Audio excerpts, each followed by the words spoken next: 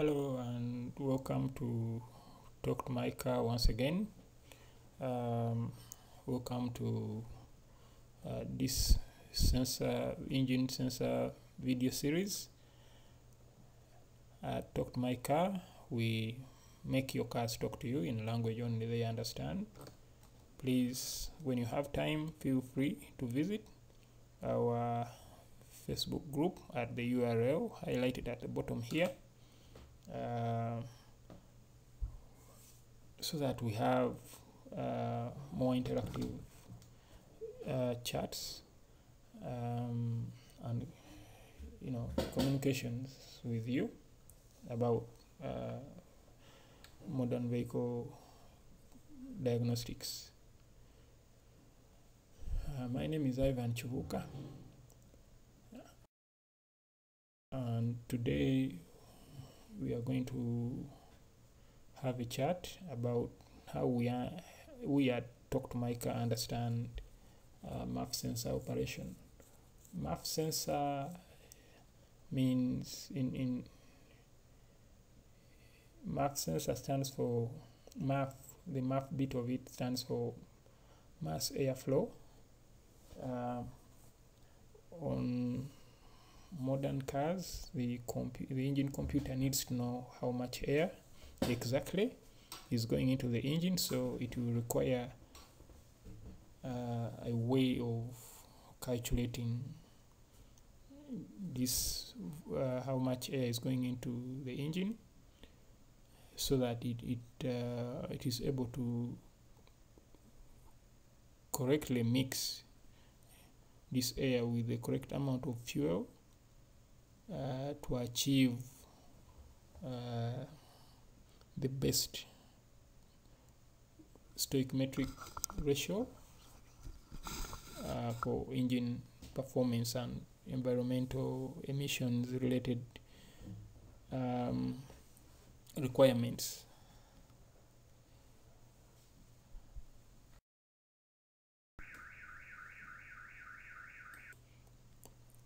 Generally, there are two uh, types of two common types of mass airflow, although um, one is less common than the other.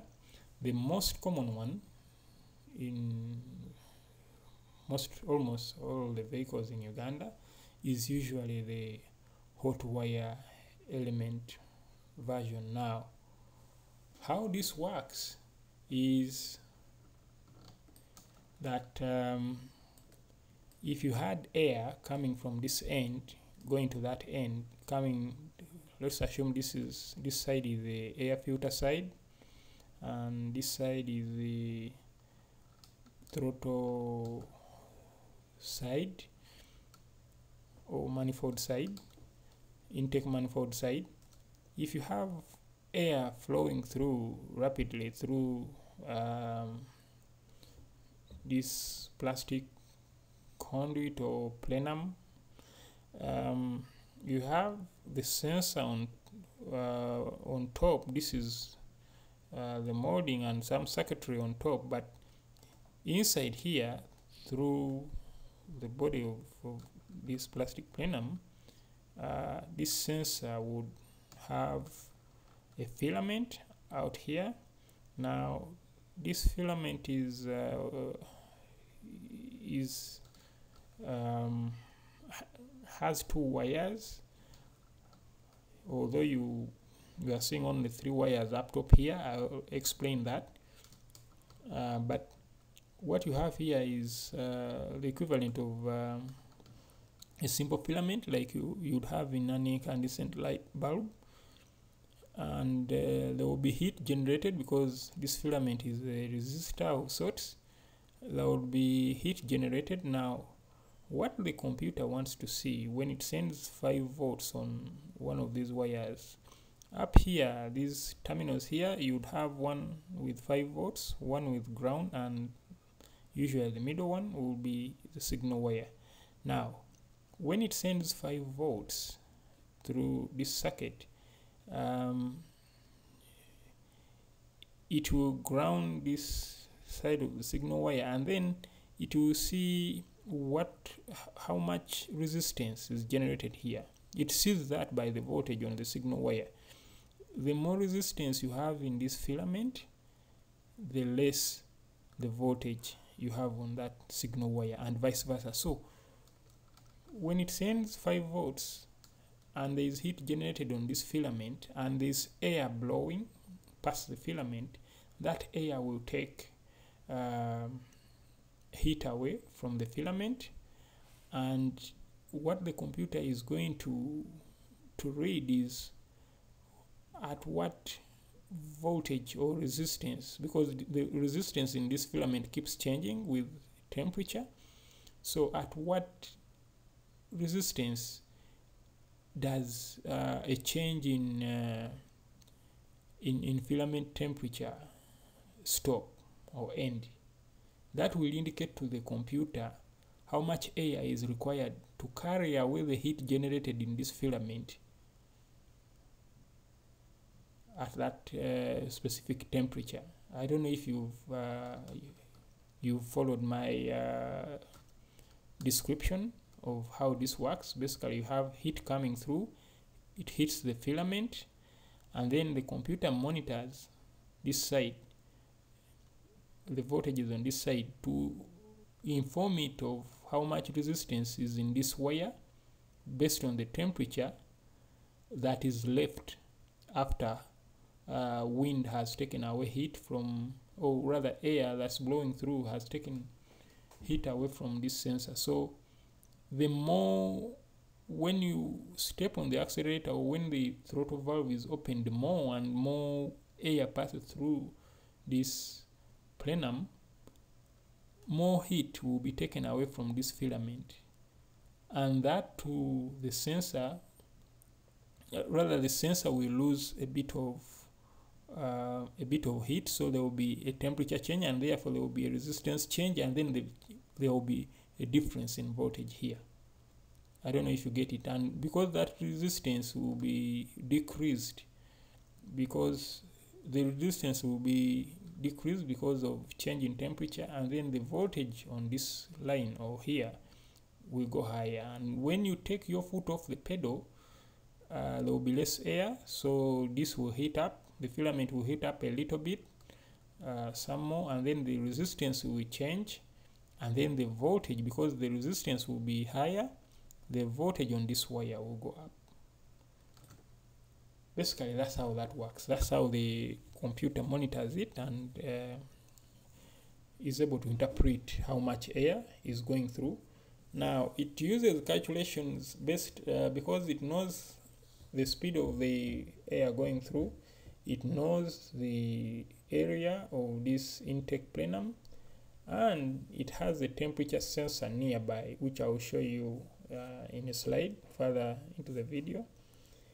Uh, because of that temperature sensor it can make all corrections for uh, changes in temperature you know when you, you, volumes of the volume of air um, when it changes um, when the temperature of a volume of air changes its mass um, can also change rather the mass is, is the same but for the same mass of, of air, uh, a change in temperature can result in a change in volume. So the computer needs to correct that. That's why it, usually when you find a mass airflow sensor, it will be either enclosed with a, an intake air temperature or there will be a separate intake air temperature sensor nearby. Um, The other type of mass airflow sensor, uh, this is the less common one, is the vane mass airflow. Now this one works more or less like um, a throttle position sensor, like a typical throttle position sensor is uh, basically potentiometer that uh, changes voltage output with change in, in in the in, in this slider which is attached to a vane. Uh, if you haven't seen our video on how TPSs or how t- throttle position sensors work, how typical TPS work, please um, find that video and view it. We give uh, a longer, more definitive description of how this works. Um, in brief, what you have is a vane like so we on a hinge so if the air is blowing from this side say this is the uh, air cleaner side and this is the intake manifold side or throttle side you one if you have air going through the intake plenum in that direction from this end to that end it would push this vane in that direction back and forth. More air going through would push the vane further that way. Take the foot off the pedal less air going through vane would come back this way and so on and while it is swinging like while it is swinging like that on the other side of that vane is a potentiometer. Now this is working almost in is, this is exactly the same fashion like a typical throttle position sensor. Please uh, review our video on uh, how the TPS works. Um, but note that um, as I mentioned earlier usually uh, this sensor is either enclosed with an air temperature sensor as well or um, the sensor may be separate but very very near uh, the mass airflow sensor. Briefly that's how that works. Um, as always I urge you to use uh, wiring diagrams where you can when you are dealing with um, electrics on vehicles whatever electrics ABS SRS uh, that is airbags whatever electrics you are dealing with on a car uh, especially with these modern vehicles that have wires going everywhere. So as not to mess them up please uh, endeavor to use wiring diagram in this case um, for purposes of illustration I'm using uh, a, a wiring diagram for a mass airflow sensor from uh, Golf Mark 4 Volkswagen Mark, uh, Golf Mark 4 uh, that's the those are the golfs that were made between 1997 late 1997 to about 2003 or 4 thereabouts. Uh, very common golf in Kampala these days. Uh, this is the wiring diagram related to the mass airflow sensor for this vehicle. Um, what you have here is a heated oxygen sensor and another heated oxygen sensor. This is probably um, because it usually has two most vehicles have two sensors um, upstream and downstream. Um, those with uh, V-shaped engines will usually have double those sensors.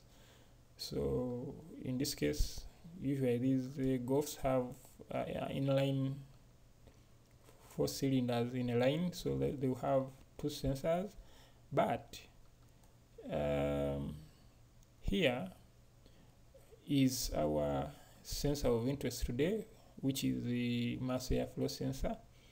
And uh, as you can see in this case um, it has five wires attached to it. And um, I believe one is the ground. This one is probably the ground. You can see it is shared by other sensors and their heaters. And another valve here sharing the ground. So that's the ground. And it's uh, it's black and uh, yellow. No it's blue with a yellow stripe and then we have another wire which is blue. And then another one which is uh, brown with a blue stripe. And another one with uh, which is lilac with uh, a red stripe. And the last one has uh, is a brown wire with uh, it's a brown wire with a red stripe now in here is our sensor but these two extra wires mean um, in there is an intake air temperature sensor as well. And on this side we have our uh, mass airflow sensor wiring. As usual check for ground for good ground on this side on this side of the sensor. Make sure when you put your black multimeter read on uh, uh, your black multimeter lead on this side and the red multimeter lead on the battery positive you should see 12 volts uh, on this side you should see 5 uh, when you put your red lead on this wire and um, your black lead on your black multimeter lead on the battery negative you should see 5 volts. And on this wire you should see um, uh, voltages changing between about 1.2 to about 4 volts depending on how much air is going into the engine at any time. And these are related to the intake air temperature so I'll not go into uh, much detail on those. You can review our video on intake air temperature and engine coolant temperature sensors to understand how that works and what you need to check. Um, if you came to talk to my car and we gave you a code related to that.